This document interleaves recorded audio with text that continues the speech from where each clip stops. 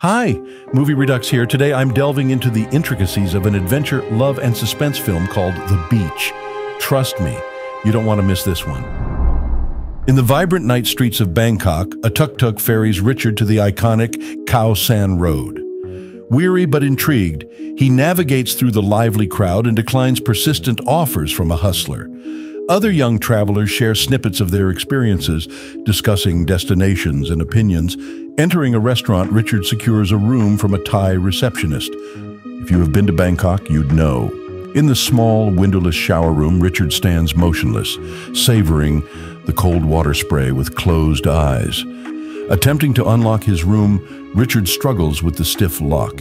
Over the sound of climbing footsteps, a loud wolf whistle pierces the air. Francoise, a beautiful European woman, approaches, deftly takes the key, and effortlessly opens the door for Richard. I wish I was Richard. Anywho, expressing gratitude, before he's joined by Etienne, Francoise's companion. I don't like this guy already, but I wish I was him. As the couple heads to their room, Richard bids them bonsoir, left with a contemplative moment about his solo travels. In the dimly lit hotel room, Richard lies on the bed watching the slow rotation of the fan above him. The ambiance is disrupted by the audible, passionate encounter between Etienne and Francoise in the adjacent room. Richard wishes he was Etienne. As their intimate sounds reach a climax and fade into silence, a new disturbance arises. This time, the noise originates from the opposite direction, the adjacent room occupied by Daffy. He pounds on the wall above Richard's head, yelling a request for something to smoke in rhythmic cadence. The disruptive symphony continues. I love this crazy man.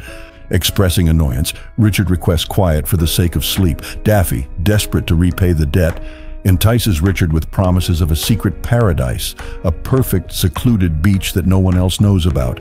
Uninterested, Richard emphasizes his need for sleep, and Daffy reluctantly agrees to silence. They exchange a brief farewell handshake, and Richard returns to his room. The scene shifts to the next day in the bustling restaurant. Richard wanting to go back into his room, but is alarmed to find out a Thai woman cleaning the electric bulb rather than the floor. Clearly had a few before her work. Richard tries to stop her before she gets fried and goes to God, but instead she points to a letter. Richard opens the letter and finds out that it's a map of the Paradise Island Daffy was talking about. Excited, he contemplates how to get his gorgeous neighbor and her not-so-great boyfriend to join in the trip to paradise. Motivated by a growing infatuation with Francoise and the allure of a unique adventure away from the typical tourist scene, Richard persuades her and Etienne to join him on a journey to a mysterious island. Their travels take them from the bustling streets of Bangkok to the serene shores of Koh Samui in the Gulf of Thailand. On the island, Richard befriends a pair of American surfers who excitedly share stories about the legendary beach. They mention its almost unlimited supply of marijuana, unknowingly revealing a secret Richard already holds. Wrestling with the decision to inform them, Richard ultimately copies his map and discreetly slides it under their door, guided by the belief that world travelers should not withhold information from one another. To reach the island, the trio faces the challenge of swimming across. Upon arrival, they discover a massive marijuana plantation guarded by locals armed with AK-47 assault rifles. Barely avoiding detection, they proceed to jump off a cliff with Francoise leading the way. Keaty, an islander, witnesses their arrival and guides them to the beach community. Their entry into the community isn't seamless. Sal, the island's leader, cautiously interrogates them about their knowledge of the island. Despite initial skepticism, they are eventually accepted into the community. Over the next few days, Richard, Francoise, and Etienne integrate into the islanders' way of life, becoming a part of the close-knit community. During a moonlit stroll along the beach, Francoise confides in Richard, expressing her burgeoning feelings of love for him. The pair ventures into the ocean to witness the mesmerizing display of bioluminescent plankton, culminating in a passionate kiss and intimate moments on the beach. Despite their efforts to keep the romance discreet, news spreads throughout the island, reaching even Etienne. Although devastated, Etienne selflessly conveys that he won't stand in their way if Francoise is happier with Richard. Initially, the island and its community seem idyllic. Richard gains admiration by bravely dispatching a young mako shark during a fishing expedition, though Bugs, Sal's boyfriend, objects to the act. Events take a darker turn when Richard is chosen to accompany Sal to the mainland for supplies.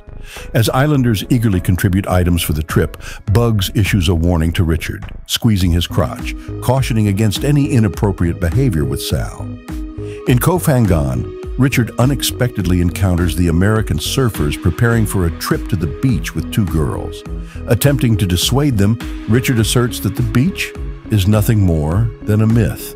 Sal overhears their conversation about the map and confronts Richard, who admits to his involvement without disclosing the map's replication. In a coercive exchange, Sal blackmails Richard into being intimate with her that night, securing her silence and his return to the island. Upon their return to the island, life resumes its routine until tragedy strikes when the Swedes, engaged in fishing, fall victim to a shark attack. Sten succumbs almost instantly, and Christo suffers severe injuries. Faced with the dilemma of seeking medical assistance on the mainland or taking his chances on the island, Christo opts to stay. Sal, adamant against allowing a doctor onto the island, intensifies the isolation. The desperate decision is made to leave him in the heart of the jungle to perish. Etienne, appalled by the group's callous choice, stands by Christo, defying the community consensus. Meanwhile, Sal, angered by the presence of the American surfers on a neighboring island, charges Richard with the task of surveilling them to obtain the map and destroy it. Frustration mounts as the surfers linger on the other island for days. In the midst of this, Francoise confronts Richard revealing Sal's betrayal by disclosing their intimate encounter to the entire community. Overwhelmed by guilt and heartbreak, Richard retreats into the forest. Temporarily losing touch with reality, he believes he is communing with the deceased Daffy. In a state of madness, he eludes the other islanders, setting lethal traps and at times hallucinating that he is a character in a video game. The once serene island becomes a backdrop for Richard's descent into a chaotic and disturbed state of mind. In the interim, the surfers successfully reach the island, only to meet a grim fate at the hands of the marijuana farmers. Witnessing their executions, Richard retreats to the community with a dire warning for Etienne and Francoise.